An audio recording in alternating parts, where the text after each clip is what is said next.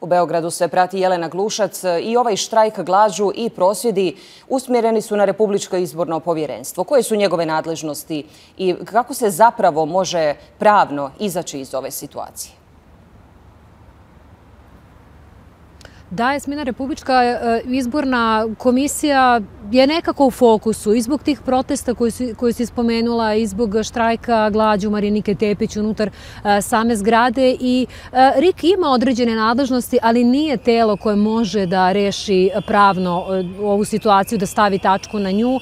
Jedini način da se pravno poništi deo izbornog procesa ili izbori u celini jeste da se podnese zahtev Ustavnom sudu za rešavanje izbornog spora. Dakle, Ustavni sud jedini je koji to može da uradi ukoliko proceni da je došlo do takvih nepravilnosti koji su mogli i koji su uticali na krajnji ishod izbora. Kada pričamo o Riku, on može to da učini na određenim biračkim mestima, I on potom ima drugostepenu instancu kada je reč o rešavanju prigovora.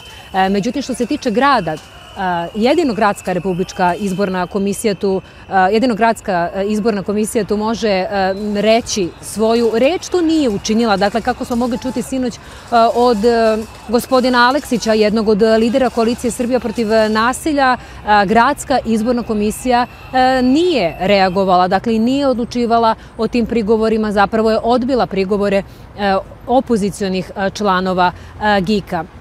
Ovaj zahtev Ustavnog sudu koji spominjem, e, izvesno je da će e, stići iz redova opozicije. Oni su rekli da će proći sve instance e, koje mogu da bi ovu stvar istarali do kraja na način na koji žele. Međutim, taj zahtev Ustavnog sudu može podneti bilo ko. To mogu biti birači, mogu biti kandidati za gradske odbornike, nosioci lista i mogli smo čuti i od članova Republičke izborne komisije iz redova opozicije da su oni sa svoje strane pokušali da svoje kolege u Riku da ih nagovore da se organizuje jedan sastanak sa Republičkom javnom tužiteljkom, sa Ministarstvom za upravu i lokalnu samoupravu, da RIK bude nekako aktivniji u tome da skrene pažnju tim državnim organima da je bilo nepravilnosti ili da je bar bilo osnova sumnje u te nepravilnosti što bi u teoriji trebalo da bude dovoljan razlog da tužilaštvo reaguje.